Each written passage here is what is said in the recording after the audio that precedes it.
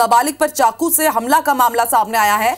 आरोपी ने करीब 25 बार वार किया है। बच्चे के घर में घुसकर बताया जा रहा है कि चाकू से हमला किया गया है। घर में घटना के समय भाई बहन भी मौजूद थे।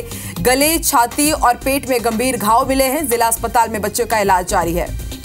तो घर में घुसकर चाकूबाजी हुई है। नाबालिग पर चाकू से हमला किया गया है। इस वक्त की बड़ी खबर हम आपको बता रहे हैं। छतरपुर में चाकूबाजी की वारदात को अंजाम दिया गया है। गले छाती और पेट पर कई वार किए गए। अब बच्चे का इलाज जिला अस्पताल में जारी है।